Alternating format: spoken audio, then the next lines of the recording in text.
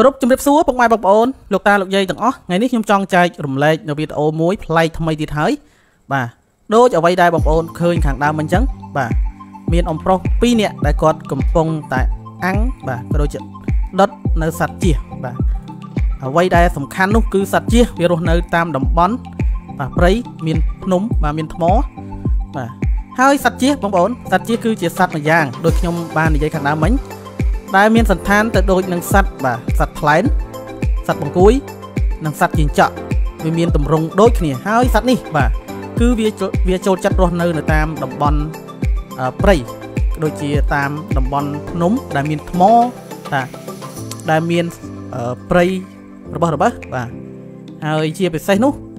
អឺដែលសម្បូរជាងគេនោះគឺនៅខាងប្រទេសថៃបាទភាគច្រើនគឺនៅខាងនៅខាងព្រំដែនខាងប្រទេសថៃ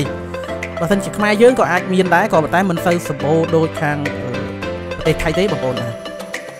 មានបងប្អូនយើងខ្លះបាទប្រកាសជាស្គាល់ហើយបាទសត្វជាតិភាគច្រើនបងប្អូននៅខាងប៉ែកខាងលិចនៃប្រទេសរបស់យើងខាងខេត្តឧត្តរមានជ័យបាទខាងព្រះវិហារអីហ្នឹងបងប្អូនប្រកាសជាស្គាល់ហើយសត្វជាតិបាទហើយសត្វជាតិគេអាចយកទៅឆាបើតាមខ្ញុំដឹងគេអាចយកទៅឆាក្តៅក៏ដូចជាឆា វាមានឆាប្រភេទឆាច្រើនណាបងប្អូនដែលប្រជាជនខ្មែរយើងដែលចូលចិត្តណាអូខេងាកមករឿងយើងវិញបាទមានអ៊ំប្រុស2នាក់បាទដែលគាត់រស់នៅនៅក្បែរជើងភ្នំបាទគាត់នាំគ្នាដើររកសត្វជិះនេះបងប្អូនបើមិនដែលបានឃើញនេះរូបរាងរបស់វាគឺស្តៀងនឹងសត្វខ្លែនបាទស្តៀងនឹងសត្វខ្លែនហើយនឹងសត្វជីចក់ឥឡូវនេះគាត់កំពុងតែដើររកសត្វបាទដើររកសត្វជិះនឹងតែម្ដងបាទបងប្អូនបើសិនជាមិនស្គាល់បាទ អាចទស្សនានេះទៅអាចថាអូសត្វហ្នឹងគេអាចហូបបានមែនទេបាទកាលពីនៅតូចតូចខ្ញុំធ្លាប់ហូបតែប៉ុន្តែមិនមែនសត្វហ្នឹងគឺថ្លែនដើរបាញ់ថ្លែនបាទបាញ់បង្គួយយកមកហូបអីចឹងណាបងប្អូនបាទហើយមើលទៅគាត់ដើរចាប់សត្វនេះដូចជាអត់រត់ទេបាទអានេះដូចជាថ្លែនណាបងប្អូនមើលទៅដូចជាថ្លែនបាទនេះឃើញទេដូចជាថ្លែនធំធំបាទធំធំជាងជីងចក់បាទប៉ុនប៉ុនថ្លែនហ្នឹងឯងបងប្អូនស្តៀងនឹងសត្វ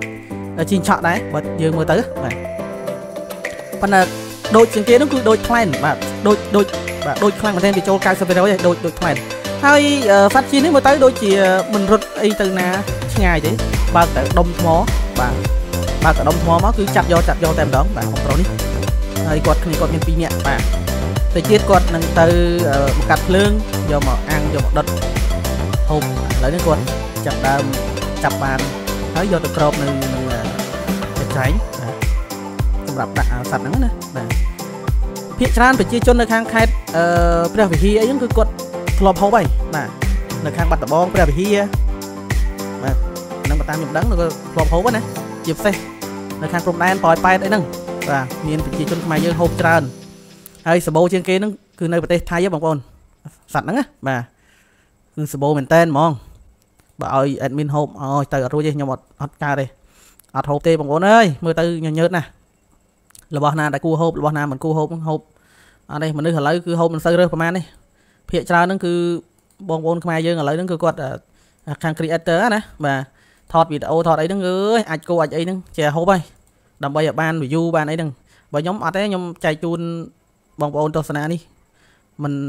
ថាมันមិនហូបខ្លួនឯងទេគាត់ថាយកវីដេអូនេះមកដើម្បី review ឲ្យបងប្អូនមើលចឹងណាបាទ បាទអ៊ំប្រុសគាត់ចាប់បានរួចរាល់បានប្រហែលជា1គីឡូបងប្អូនបើតាមមើលទៅ ចាប់បានច្រើនហើយបាទហើយសัตว์នេះវាសម្បូរមើលទៅ នៅខាងស្រុកគាត់ហ្នឹងមើលទៅសម្បូរបាទបើសិនជាបងប្អូនអត់ដឹងទេថាវីដេអូនេះនៅប្រទេសណាបាទនៅប្រទេសថៃនឹងឯងហេតុអ្វីបានខ្ញុំថាប្រទេសថៃបាទគឺគាត់និយាយភាសាថៃហ្នឹងឯងបងប្អូនបាទឥឡូវហ្នឹងគាត់បានក្រែលដែរហើយបាទគាត់បានក្រែលមែនតែនហើយហើយអត់មានរត់ទេ ភាកច្រើនឮគេនិយាយសัตว์នេះដូចវាលោតបងប្អូនលោតវាចេះហក់ហក់ឆ្ងាយឆ្ងាយបាទហើយខ្ញុំឃើញសัตว์មួយប្រភេទទៀតសัตว์ជិះទាំងដែរដូចឃើញដូចហើអញ្ចឹងបងប្អូនដូចវាវាហើបាទ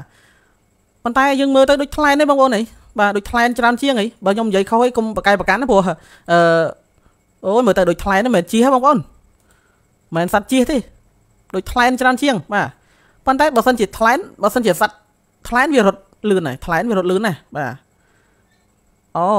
ថ្លែននេះបងប្អូនបាទបើតាមមើលវីដេអូនេះថ្លែននេះបាទខ្ញុំនិយាយខុសអីកុំប្រកែប្រកាន់ព្រោះអីមើលទៅដូចជៀសបន្តិចដូចសត្វផ្លែបន្តិចបាទឥឡូវហ្នឹងគាត់ឥឡូវមិនបាច់ខ្វល់ថាជៀសឬថ្លែនទេបាទសំខាន់គឺគាត់យកមកដុតយកមកអាំងនេះ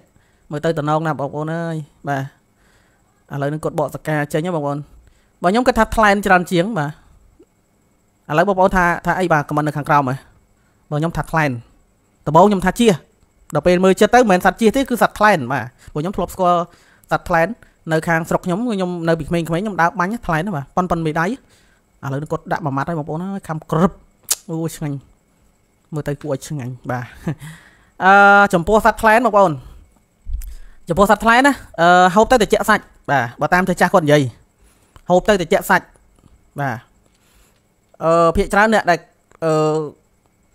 មានគេហៅថាដូចមានជំងឺអីគេឲ្យហូបថ្លែនណាបងប្អូនបាទគេឲ្យហូបថ្លែនណា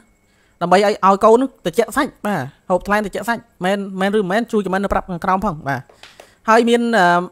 អឺឮចាស់ចាស់គាត់និយាយទីថាជីងចក់បាទខ្ញុំនិយាយរឿងជីងចក់ដូចជាប្រភេទសត្វតែមួយឯងពូជអម្បូរវាតែមួយឯងផ្លែនជីងចក់ប្រគួយជិះអីហ្នឹងបាទគឺវាមានរូបរាងដូចគ្នាអញ្ចឹងណាបងប្អូនជីងចក់បើអ្នកកើតហឺតបាទគេឲ្យហូបគេឲ្យហូបទាំងរស់ហ្មងណាខំហូបហ្មងណា ខំក្រឹបតាពីយកហ្មងគេមានថ្នាំរបស់គេអាហ្នឹងជាថ្នាំហ្នឹងសម្រាប់អ្នកកើតហឺតបាទប៉ុន្តែមែនឬមិនមែនខ្ញុំអត់ដឹងទេបាទខ្ញុំមិនដែលធ្លាប់ហូបផងដែលធ្លាប់កើតជំងឺហឺតហ្នឹងហ្មងឥឡូវអ៊ំប្រុសនេះគាត់ហូបមួយបេះបេះតែអាចវាចេញបន្តិចខ្ញុំហូបទាំងអស់ហ្នឹងមើលទៅទំនងមែនទេណាបងប្អូនបាទមើលទៅខ្ញុំលេបទឹកមាត់ដែរហ្នឹងណាបាទប៉ុន្តែឲ្យហូបអត់ហូបទេបាទ អូខេហ្នឹងហើយបងប្អូនអឺវីដេអូនេះខ្ញុំគិតថាប៉ុណ្ណឹងហើយបាទសង្ឃឹមថាបងប្អូននឹងចូលចិត្តវីដេអូនេះហើយជួយចូលតិចតិច like share ផងដើម្បីបាទឲ្យមិត្តភ័ក្តិបងប្អូនយើងមើលឃើញថាអូសត្វផ្លែសត្វជៀសគេអាចហូបបានអាំងហូបឆ្ងាញ់បាទឈ្ងុយវាមានក្លិនឈ្ងុយមែនទែនក្លិនដល់ខ្ញុំបាទបាទអូខេបងប្អូនអញ្ចឹងជួបគ្នាតែប៉ុណ្ណេះសិនបាទជួបគ្នានៅវីដេអូក្រោយក្រោយទៀតបាទហើយកុំភ្លេចណាជួយចុច like ជួយចុច follow page ខ្ញុំម្នាក់មួយផងដើម្បីទទួលបាននៅវីដេអូថ្មីថ្មីបន្ថែមទៀតបាទអញ្ចឹងក៏សូមជម្រាបលាបាទយើងចង់ជួបមាត់បាទជម្រាបលាតែប៉ុណ្ណេះសិនជួបគ្នានៅវីដេអូក្រោយបាទសូមអរគុណសូមជម្រាបលា